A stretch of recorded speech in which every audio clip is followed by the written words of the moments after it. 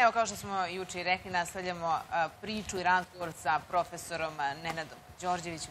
Dobro jutro, dobrodošli, hvala. Profesore, ti si veleposednik, tajni, poslednjih 3-4 decenije. Neće biti dosta šest emisija za ovo. Pa sad ne znamo koliko treba na zahte gledalaca, nastavljamo. Ne, moramo doziramo svako jutro pomalo, ne smemo previše. Da, evo, recimo, uvek se znao u Srbiji da u raznim ministarstvima ima i u Englezi toliko ministara, Amerikanci toliko, Nemci toliko, Rusi toliko. Jedino srpskih ministara uvek je falilo u srpskim vladama. Nikad ih nije bilo. Čak i za Slobodana Milošća postoji priča, ako već nije za Srbe uradio dovoljno, da je ostvario sve američke interese na Balkanu.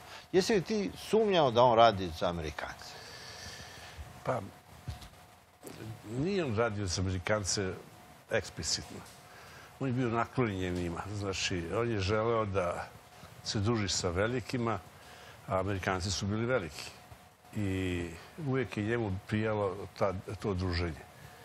Slobodan Milošević nikad, to sam ti rekao juče, nikad nije imao svoje prijatelje. Prijatelji Mire Marković su bili njegovi prijatelji.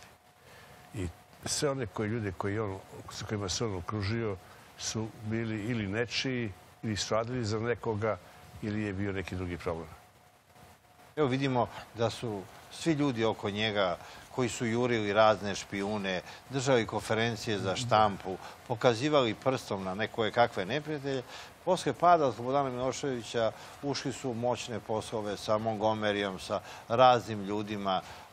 Očigledno da tim velikim silama su bili potrebni ljudi oko Miloševića, a ne u opoziciji. Tako je. Pa, strane službe uvek žele da imaju svoje stranike u blizini moćnika i vlasti. Oni na ulici im ne trebaju. Ulica je samo folklor da se pokaže, eto, narod je nezadovoljan, pa mi pomažemo da to bude kako treba. Evo, posle 5. oktobra ti si već bio u sukobu sa porodicom Milošević. Kad je Milošević isporučen Hagu, Mira Marković otišla na jednu proslavu SPS-a. I muže je u Hagu, deca po svetu, porodica uništena, sve u šta su verovali propali, ona je bila nezadovoljna, čak je i popila neku čašu vina. I onako besna kaže, vi ste četnici, vi ste upropastili mog muža i mene. I bolje da je on ovo nastavio s onim s kojima je počeo. I oni nju pitaju, a s kim je on ovo počeo? Ona kaže, pa s Amerikancima. On je bio ozbiljan čovek i onda se uhvatio vas, ovoša, koji ste ga upropastili. Znaš kako, to je ovako delikatno pitanje za odgovor. Jer Milošević je bio, njegov brat je bio ambasador u Moskvi, Bora. I on je imao dobre odnose sa bratom. Čak jedno vreme imao veću političku karijeru od Slobodana Miloševića Bora. Tako je. I, međutim, Milan nije imao Boru nikako od trenutka... A je moguće da brat njegov nije mogao da im uđe u kuću? Nije. A to je počelo do osme sedmice. Kada je bila osma sedmica, Milošević je tada držao dva govora. Jedan ako pobedi, ako izgubi. Bora je trebao da dođe, bude prisutan. On je bio ambasador u Alžiru i rekao da ne može da zbog posla u ambasadi da stigne i to Mira nikad nije prostila. Nikad. I ona... I Bora Milošić je bio i pro-jugoslovenski u toga. Sto posto. To nije sporno. I Bora je dobar čovjek, mislim. I dobar bio i... Vrlo sposoban čovjek. Dobar diplomata. Izuzetno sposoban čovjek. Milošević nije bio nesposoban, nego je stvar sa kim živiš. I koliko taj ima uticija na tebe. Ja mogu ti kažem jedan primjer samo. Moj drug me zove i kaže možda mi pomogneš. Ja kažem, ako mogu, pomoću ti. Kažem, šta je, kaže, pitanje. Kaže, sutra treba da smene direktora Srbija šuma. Ja sam molio slobu da on iz nekih rada koji imamo fortifikacijske stave i planini. Kaže, i bilo bi dobro da ostane. Da li mogu da mi pomogneš da on ostane? Tako, pa pokušat ću. Ja pozovem Miru telefonom i kažem, Miro, oko pet sati, imaš pratinski zadatak. Sutra sednica vlade, dotični direktor šuma mora da ode, da ga smene i ti možda uradiš sve da on ostane. Preda kaže, to je sutra. Prečeš li ti svog muža večeras? Kaže, hoću. Sad ja pričam. završi večeras. I do, 5, do 11 sati mi javiš da je to sve u redu. U 5 do 11 ona zove, kaže, pati zatak je uspješno obavljen, on ostavlja da se objašnjava. A meni se ona žala da ona nema toliko uce na svog muža, da je to priča. E, pričala mi da je šest mjeseci morala da plače da Milošević smeni Milorada Vučovića kao direktora televizije. Je veruš u te? Ne. Ja to ne mogu da poverujem. Ja znam da ona kad povisi ton u kući, svi se smrzu. Od osoblja pa do slobodana. Kako si ti došao u kontakt sa porodicom Milošević? Ja kad sam pravio partiju, Vira je došla kod mene i rekla je mogu da se učinu u tvoju partiju. Može. To je Jul. Jul. I ja kažem, možeš. I ona je prihvatila, učlanila se lepo i e, ja sam smatrao žena predsjednika ne može da škodi, mislim, u partiji može da koristi. I ona je bila, mogu da kažem, vrlo korektan član do neke, do neke mere. E, dok nije počeo da vodi glavnu kadrovsku politiku da dovodi svoje ljude koji su bili vrlo problematični i koji su radili svašta. E, kada su počeli da gledaju interes, lični interes, mnogo izvod interesa partije i države. Ko je doveo kontroverzne biznismene u jug? To je vrlo interesantno. To je bila levičarska partija, a gro su činili ljudi koji se bavili privatnim biznisom.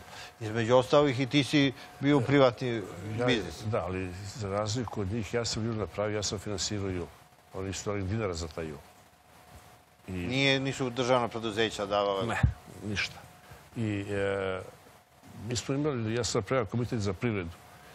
E, kad je Zoran Todorić došao prvi put na taj komitet za privredu, je rekao, Miri, kaže Miro, ovo jače od, vlade naše, barem pet puta ovaj komitet za privredu. Su bili sve viđeni direktori Srbije. Svi. I tu su bili tako konstruktivni predlozi davani da se unapredi privreda, ekonomija i sve ostalo, da je to bilo zapanjujuće. Za njega je to bilo zapanjujuće. Jer je shvatio partiju kao interesnu grupu koja treba da funkcioniše i radi u interesu svojih članova, a ne u interesu države i društva. On imao nerealne e, ambicije i e, bio sam pristojan kad je Miri Marković rekao Miro, ajde da smenimo slobu. Svašta mu je padalo na pamet. To je tačno. Njemu i svašta padalo na pamet. Ali on je bio Ja nisam mogao da verujem da on to stvarno izgovori. To je, to je istorijska On je smatrao da će on doći na slobino mesto. To je njegova konačna ambicija bila i njegove ambicije su bile toliko velike da je to bilo strašno. Prosto čovjek e, nije mogu da shvati da e, neko može da ima tolike ambicije koje su potpuno nerealne. Čovjek u politici mora da ima neku dozu realnosti kako bi uspeo da e, vodi politiku i da bude uspešan u politici, on mora da zna ko je, ko šta radi, na koji način se ljudi ponašaju on to nije mogu da shvati.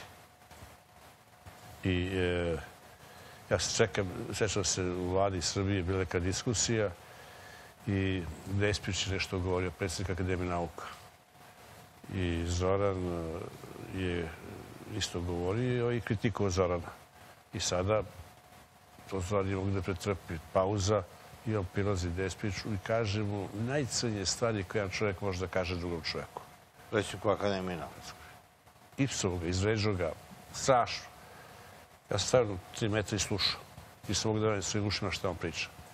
Prilazi par akademika, vidi da je Despić bled ko krpa i da mu nešto je pozilo. Kažu, predsjedniče, šta vam je? Kaže, nije mi dobro. Se toliko uzbudio.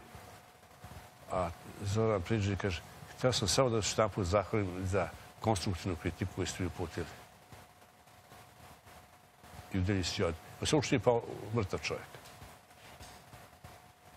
Što kažem, od najcrnjih reči do zahvaljivanja, to ne može svaki čovjek donati. I se bojao kad si bio prijatelj porodice Milošević. E, kad sam pustio Miro Marković da piše u Dugi, meni su se obratili razni funkcioneri SPS-a, bilo tu i pametnih, ozbiljnih ljudi, i koji su mi rekli da to nije šala, da se igram sa životom, da ću ostati bez glave ili bez posla.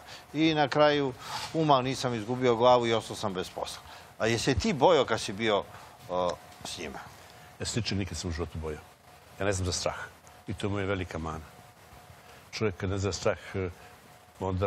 Evo, od miljenika si uhapšen, e, na stubu srama, e, čovjek koji je finansirao tu partiju optužen za pljačku zdravstvenog sistema, na kraju je sve to o, u srušeno i na kraju si morao da bežiš iz zemlje. Ko je tebi rekao da bežiš? Niko. Ja sam imao dovoljno iskustva u toj oblasti da ni tamo niko ne mi kaže da trebam da bežim. Ja sam znao šta Vlajko može i šta koliko... Jesi ti bio na e, listi za ostrel? Jesam. I to ozbiljno. A gdje si ti bio? Prvo si otišao negde u Italiju, pa Ja si... prvo sam otišao u Crnu Goru po Italiju. Bio sam tri godine u Italiji i u sat vremena sam bio u Crnoj Gori, malo u Bosni i tako. Da li su stizale Slobine i Mirine ubice do tebe? Jesu. Jesu. Ali bio sam mnogo efikasniji od njih. U smislu sam se čuvao i znao sam se sačuvam. A imao sam i prijatelji koji su me čuvali, tako da... Nije, tad su stranci počeli da se interesuju za tebe i praktično ti si bio centar okupljanja op- opozicije e, za rušenje Miloševića. S tobom je razgovarao i Đinđić i svi koji su dolazili. Iako te to Ja sam vodilo... kod Mire, Ti si upoznao Miru i Đinđića. I onda su mi tražili da budem prisutan sastanku, sam rekao ne. Nešto meni givapka ako kasniš o čemu ste razgovarali. Prema tome, ako budem prisutan, ako nešto procuri, ja ću biti kriv. Vas dvoje ne možete biti krivi. I onda je bolje da ne budem prisutan, kad je došao u Crnu Goru, on se opet obratio tebi. Zoran, Da. sam bio kod mene u hotelu. I cijela ekipa opozicije je bila kod mene hotelu. I lepo počastio, ugostio, kod dobar domaćin. Ja sam smatram treba pokazati ljudski odnos, a ne... Da li su stranci pokušali u to vreme da te vrbuju? Koliko puta? Više Šta su ti nudili? da budem od predsjednika države, vlade, što god sam htio, mogo sam bio sa platom od 20.000 dolara i e, uticajem, izuzetno velikim uticajem u Srbiji. Zašto nisi učestvovao u... Ja sam Tim jednog od tih vrlo visokih američkih funkcionera CIA, rekao sam, mu, gospodine, da li ste radili za mene? Mogu čovjek, mogu da vas platim. Koji vi mene, mogu ja vas da platim. Kaže, pa ja nisam za prodaju. Rekao, što vi mislite da sam ja za prodaju, a vi niste? Ti si bio situiran čovjek tada. Mislite da sam ja loši čovjek po strukturi nego vi. Kaže, ne. Rekao, kako da možete da kupite? I on se zamislio i kaže, vi ste prvi jedini Srbi koga sam pokušao da kupim, nisam uspeo. Sve ostale Srbe je kupio. Ko je pokušao? A ko je pokušao, pokušao, ja to ne znam. Više si volao da imaš svoj privatni biznis, e, neku distancu od visoke... mir. Imam svoj mir. Mene nije pare su manje interesuje od mira i od a, i nekih normalnog ljudskog života. Znate, e, pare dođu i odu. A, ljudska stabilnost, emotivna stabilnost e, ostaje trajno. To je tajna vrednost. Ljudi koji nemaju te vrednostne kategorije ne stradaju. Poznao si mnoge ljude koji su izgubili i život i vlasti. skoro sve. Ja sam poznavao i vrh države i dno države. Takav je posao bio. I malo je poštenih i čestih ljudi bilo u politici kod nas. Malo. Bilo ih je, ali ih je bilo malo. Jer vlast pokori čovjeka strašno brzo. Na lepo se svi lako nauče, a na teško, teško prihvataju. Evo sad sa ovom distancom, da smo mogli bolje da prođemo u odnosu na e, ostale narode u regionu koji su na rušenama e, Jugoslavije postali miljenici Zapada, Amerike. Mi smo u jednom času imali situaciju da su e, podržavali svakoga ko je bio protiv srpskih nacionalnih interesa. Evo Čak i u Srbiji i u okruženju. Evo, daću samo jedan primjer koliko vredi glava jednog Srbina. Tri funte. Toko su Englezi procenili da vredi glava Srbije. Govoriš o 27. martu, Da. kad je Srbija po Čerčevu našla svoju dušu, je otišao u izgibeniju. kada su Englezi organizovali puč. E, I Knez Pavle je napravio briljantan ugovor sa Ribbentropom, sa Nemcima, da prođu kroz Jugoslaviju bez naoružanja i do, Grčke. To je bio predmet njegovog ugovora. I Srbija ostaje neutralna. To Englezi nisu mogli da prihvate. Njima treba sukob na Balkanu kako bi oni mogli da skrenu veliki deo nemačkih snaga ka Balkanu da se oslobode pritiska na Englesku. I u tom trenutku oni su uložili u Srbiju, u ljude i tako dalje, 500.000 funti.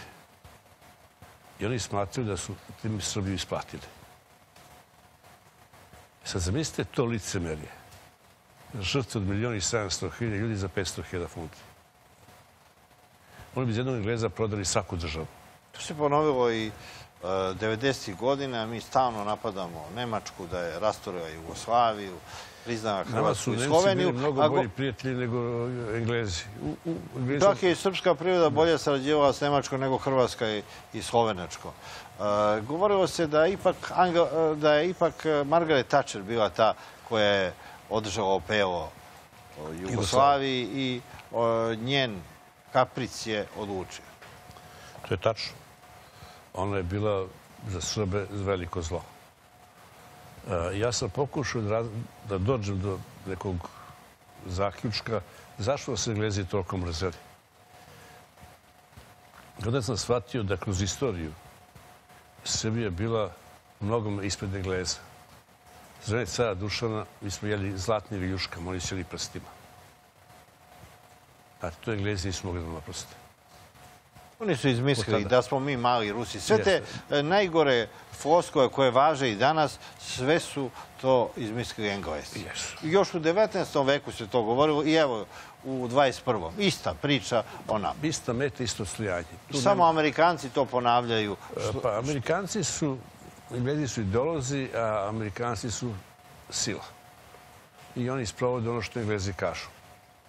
Jer najuticanija osoba na svijetu je engleska kraljica. Što ona kaže, to se i izvrši. Evo, primjera... A kako je moguće da organizaciju koju si ti osnovu Jug preuzmu Englezi i pomognu u rušenju Miloševića? Pa ja nisam mogu da e, budem u, koži e, određenih ljudi kad su bili vrbovani za Englesku. Ali sam ja saznao u roku od pet dana da su oni zavrljeni od strane Engleze, da su poslati ovde. I to nije sporno, znate. E, problem je u tome što, ja sam to rekao i Miri Slobi, znači odmah sam mi to saopštio e, koga hoće da postave na čelo Jula. Smjerko više to ne interesuje. I e, Mira mi rekla, ma Nenade, pa nemoj sad i ovdje da svoju znanje i službe plasiraš, da mi nabijaš kompleks, da ja trebam da razmišljam ceo život o tome. Rekao, pa Miro, to su činjenice. Jer čin- su oni mislili da špioni ne postoje. pa, zna da postoje, ali ona misle da su oni samo uh, u romanima i na filmu. Da, James Bond Da, i. James Bond. Znači, to u životu ne postoji. A James Bonda imaš mnogo. Da Samo ih ne vidiš. Oni kad rade, to se ne vidi i ne zna. Da, kod nas je to varijanta Alekse Žunjića. Tako je. Svetskog špijuna. Tako Da. da. Ali i to je tačno.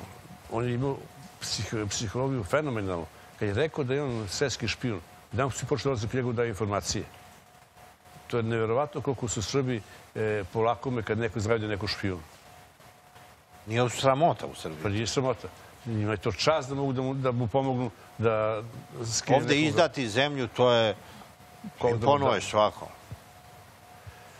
Ja E sad, da li smo mi uspeli da se pozicioniramo? Napadali su nas da ne možemo da sedimo na dve stolice, na, ne možemo da budemo i sa Rusima, i sa Amerikancima, i sa Kinezima, i sa Nemcima.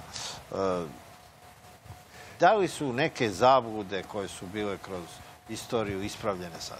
Pa ja mislim da je naš predsjednik eh, Vučić to dosta dobro uradio i da je uspeo u tome, u mnogome tome i uspeo. I mislim da vodi odličnu spoljnu politiku. A, dugo nisam da neko vodio bolju spoljnu politiku od njega. E, Zato što je on s obe noge na zemlji i zna šta može i šta ne može. I postoje jedno pravilo. Ko nije tražio, taj nije ni dobio. I kad je počeo da traži direktno i konkretno od zapada, istoka i tako dalje, on je dobio. A nismo čekali da nam neko nešto da. Niko Upravo. ti neće dati. Niko. Dete dok ne zaplače, ne dobije sisu. To je stara izreka. I to je tako. I u politici, dok ne tražiš, ne možeš da dobiješ. I on je to vrlo mudro radio i mislim da dan danas radi izuzetno mudro. On je ekonomiju Srbiju napredio. Vidi, gledamo je kritičare, propale političare, po mom mišljenju, a, koji pokušavaju da ga skinu, da ga omalovaže i tako dalje, a objektivno ništa nisu radili za Srbiju. Osim što je prodavali u većim manjim komadima. I ja mislim da je on jedan od redkih političara koji se zbilja zalaže za Srbiju. I to ozbiljno i koji je svoj posao shvatio krajnje profesionalno i ozbiljno i tako se i ponaša. Evo, koliko je puta izradio. Ja sad čekam jednog e, e,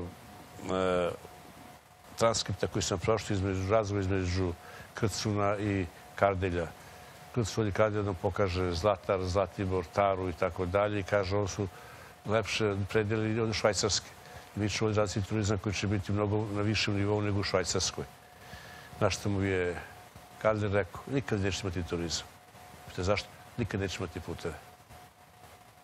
I evo, tek sad dobijamo. Tek sada smo, posle 60 godina, su ti putevi izgrađeni. I to, drugo, kada ti napraviš autoputeve kroz Srbiju, ti približavaš selo gradu. I to je velika stvar što u tom trenutku seljak može da ode ujutru na pijacu, da se robu da svrati uveče kući. Ne mora spravi ispod tezga i tako dalje. E, to je ono što veliki broj naših ljudi ne može da shvati i ne može da razume koliki je značaj izgradnje tih infrastrukture i tih saobraćajnica. Oni smatruju da je to neka igrarija, a to je suština. E, Hrvati su izgradili autoputeve zahvaljujući kreditima i tako dalje. E, I za to su preuzeli ogromne obaveze prema finansijerima, zapadu. Mi smo izgradili bez ikakvih obaveza.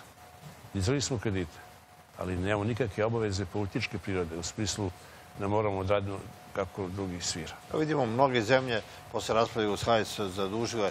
Govorilo se da je ona Jugoslavija bila zadužena, to je bilo 17-18 milijardi za veliku Jugoslaviju. Sad su i Hrvatska i Slovenija.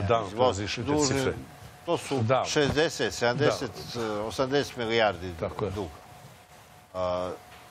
I opterećene su dugovima. I evo ljudi napuštaju zemlju više nego što onu Jugoslaviju. Evo vidimo Hrvatska je dobila nezavisnost, evo vidimo Kosovo, pa ljudi masovno napuštaju. Bolje da rade u, kao konobari u Beču, u Minhenu, nego da ostanu u svojoj zemlji.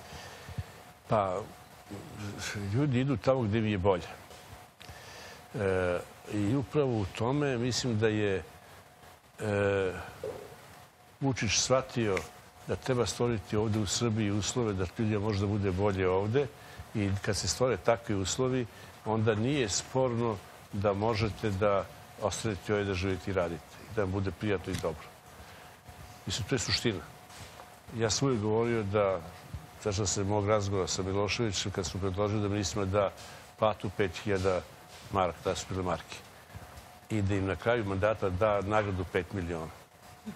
Pod jednim uslovom, da u toku njihovog mandata njihov resor raste. I ukoliko taj resor raste e, i postiže rezultate, on će zaslužiti 5 miliona. Kaže, kad si lud, kaže, 20 ministra, to je 100 miliona. Neko toliko otprilike jedan bolji ministar ukrade za vreme svog mandata. I na kraju ih je hvato svoje ministre da su krali, išli su tamo po ovi debejci, kopali su rukama i perorezima i našli su pare u dvorištu, u bašti. Ma, to, to su amateri, ti ministri koji su krali. Na, Sude kradu, mislim, nema države gde se ministri ne kradu. Ali se zna mera. To razlika između profesionalca i, amatera. amatera. Tako je, upravo to. A ovo su bili amateri lopovi. Ovi koji su uhvaćeni su amateri. Pa da, oni su i završili, dvojica Milošević i ministara su završili u zatvor. Trebali završ, svi su trebali završiti u zatvoru. Doza istine za jutros. Ne, ne, moramo umereno, umereno da... Slažem se. Da, da. Malo po malo. Malo po malo. Hvala ti, hvala vam najlepše. Nema i drugi put.